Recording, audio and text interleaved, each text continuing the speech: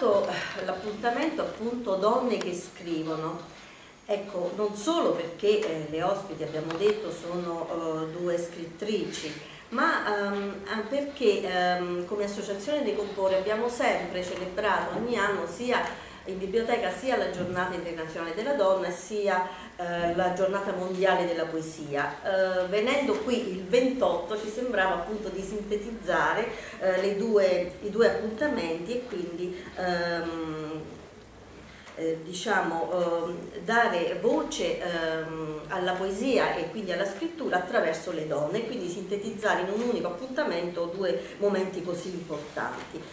Um, due ospiti appunto che oltre ad essere eh, due poetesse eh, di spessore eh, sono anche delle donne ehm, che eh, vivono come noi del resto nel contesto socioculturale del centro-sud d'Italia, una di Napoli, l'altra di Roma e quindi tentano di rispondere ehm, alle sfide che eh, come cittadine ma eh, come donne, come intellettuali, come mamme, come lavoratrici si presentano quotidianamente alla loro attenzione. Chi vi parla, chi mi conosce, ecco, lo sapete quanto io tenga proprio al discorso della scrittura al femminile.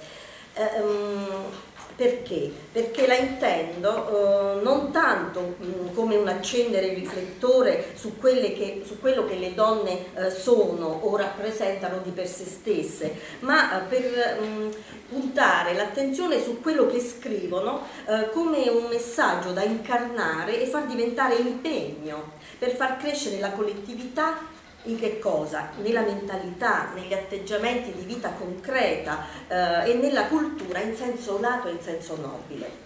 Floriana Coppola, Stefania Di Lino, quindi sono donne, sono donne che scrivono e eh, sono eh, scrittura femminile che diventa messaggio, un messaggio accogliente, un messaggio materno, generoso, capace di donare forza e coraggio.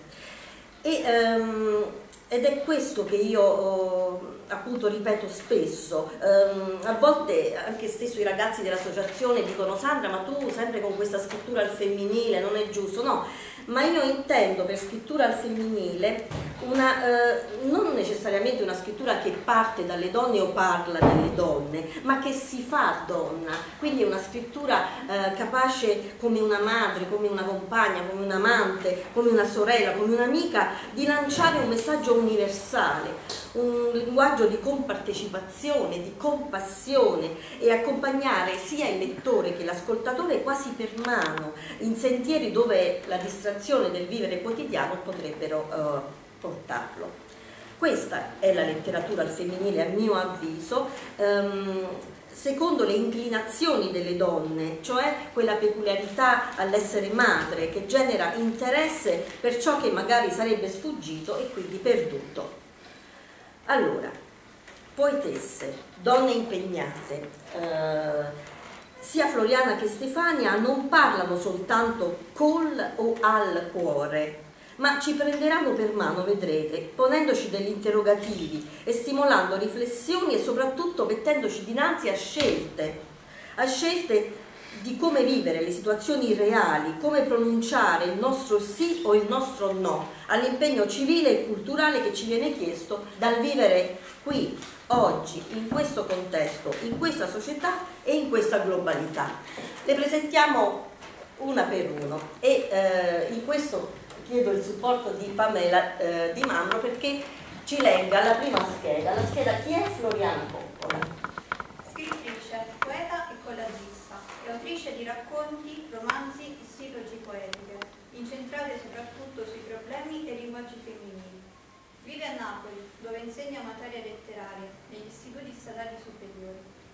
Dopo la pubblicazione del romanzo Donna Creola e gli angeli del cortile, Guida, e della siloge poetica Il trono dei mirti, edizione nella Grana Onix, nel 2009 riceve il premio giornalistico e letterario Marzani, organizzato dall'Associazione Campania Europa Mediterranea. Nel 2010 pubblica la raccolta poetica Sono nata donna, Open Land, presentata anche a Gaeta, in occasione della Giornata Internazionale della Donna 2011. Insieme a Chetti Martino ha curato l'antologia poetica La poesia è una città e due quaderni antologici in versi, Alchimie e linguaggi di donne. Nella Pinacoteca Comunale d'Arte Contemporanea di Gaeta sono state esposte sue opere. Il 4 agosto 2012 è stata ospite del primo meeting del Movimento dei Poeti Viandanti, mentre il 28 marzo presenterà il libro Vivo Ultimo della Sorgente, una storia attuale e coinvolgente, ambientata a Napoli, che vede protagonista una giovane donna, vittima di violenze e quotidiani soprusi. Grazie Pamela Di Mambro dell'Associazione Floriana, quindi Vico Ultimo della Sorgente, eccolo qui il libro. È un oh, che possiamo definire sinteticamente sociale, un libro che narra appunto una storia reale, la storia di Anna, una giovane donna del nostro tempo che si trova di fronte a una scelta, adeguarsi e soccombere sotto i ripetuti colpi sempre più drammatici di una violenza familiare, la violenza di un marito bestia che urla e che comunica solo picchiandola e sottomettendola, oppure ribellarsi e smettere di essere vittima, riappropriandosi così della propria dignità e della propria libertà. Un percorso non facile, una tragedia, una tragedia del nostro tempo, perché ehm, è, mh, parla di una normalità alla quale purtroppo eh, ci stiamo quasi abituando e che invece non possiamo, non possiamo ehm, eh, rassegnarci e che ehm, storie come quella di Anna eh, le, le, leggiamo tutti i giorni sui giornali, ce le propone chi l'ha visto e appunto eh, proprio ci vengono sbattute proprio eh, contro il muso. E poi ci sono altre storie, quelle che non leggiamo, che non sappiamo e che sono le storie nascoste, che spesso sono altrettanto gravi, storie nascoste in un perbenismo fittizio eh, di famiglie ehm, eh, che, hanno, mh, diciamo, che stanno attenti a che non si sappia, non vengano fuori le brutture che si vivono all'interno, oppure tessuti cittadini fatti di incomunicabilità e di maschere, eh, generati storie generate ehm, da un utilizzo improprio dei servizi che magari ci sono teoricamente ma che non funzionano bene o non riescono a fare perfettamente la loro parte. Pensate, questa Anna ehm, che tra l'altro mi diceva Floriana ha conosciuto realmente, quindi una, un, un buon 70% del libro è frutto di realtà, questa Anna ha un marito che la picchia, cioè la, la condizione è questa, che la manda continuamente al pronto soccorso ed ha alle spalle eh, una storia già di per sé drammatica, con due genitori tossicodipendenti, quindi fin da bambina la costringevano a una violenza psicologica eh, che le ha lasciato e continua ehm, a infonderle cicatrici eh, sul cuore, cicatrici dure a sanarsi. Quindi Anna è vittima della solitudine, è vittima della paura, del poco equilibrio, della povertà di esperienze, della incapacità di discernere eh, e di fare scelte importanti diventata madre giovanissima, Anna eh, spesso è stata picchiata anche durante la gravidanza, mentre ha allattato, mentre eh, è andata in depressione, senza che nessuno ha mosso o muove più un dito per lei. Eppure questa Anna che cosa durante il percorso in cui ci conduce il libro la trova la forza di reagire. E inizierà un percorso, anche se poi commetteranno errori, farà, eh, pagherà dei colpi di testa che, eh, che la faranno ritrovare sempre e comunque sola. Una storia oggi, una storia di dolore che ha eh, sullo sfondo una Napoli, una Napoli fatta eh, di vicoli, fatta di voci che si rincorrono, fatta di ehm, di bellezze e di ipocrisie, una Napoli difficile, non abbastanza solidale, eh, se non per alcune bellissime figure tratteggiate da Floriana che sono descritte eh, veramente con un'efficacia narrativa, sto pensando all'assistente sociale e, altre, insomma, alcune suore che incontrerà poi nella casa famiglia, insomma sono delle figure veramente eh, che fanno ben sperare. Eh, Napoli, dicevo, una città matrigna, una città che ha un groviglio di vicoli, eh, di vicoli eh, misteriosi, insani, dove, dove, Anna corre, sempre di corsa, è sempre ecco, questa metafora dall'uscire dal suo tunnel eh, emotivo, emozionale e il, il, tunnel di questi vicoli intricati della sua città.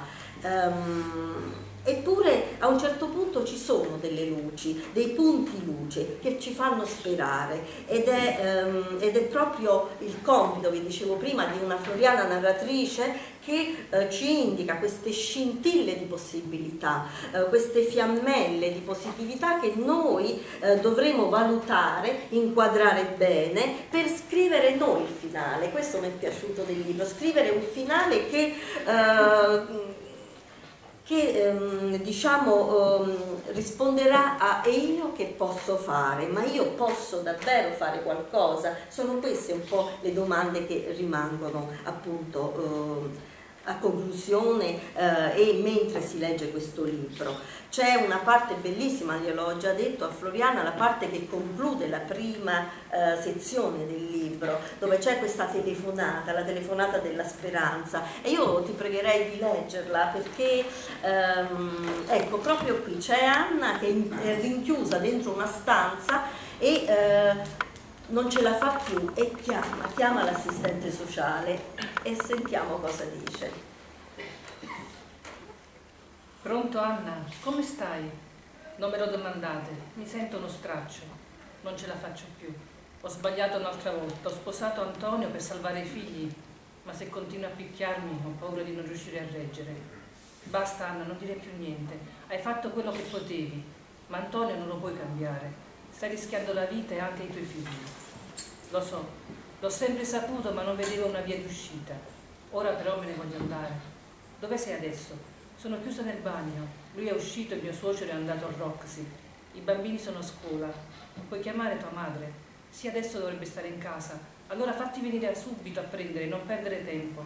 Io vi raggiungo tra un po', prima telefono a una casa di suore che conosco. Si trova a Bagnoli ed è un posto sicuro, accoglie le madri e i bambini. Se faccio in tempo chiamo anche il giudice romano. Lo sai, dovrei firmare una denuncia contro tuo marito. Se vengono prima, che faccio? Non ti preoccupare. Una volta tanto possiamo avere la fortuna dalla parte nostra, no?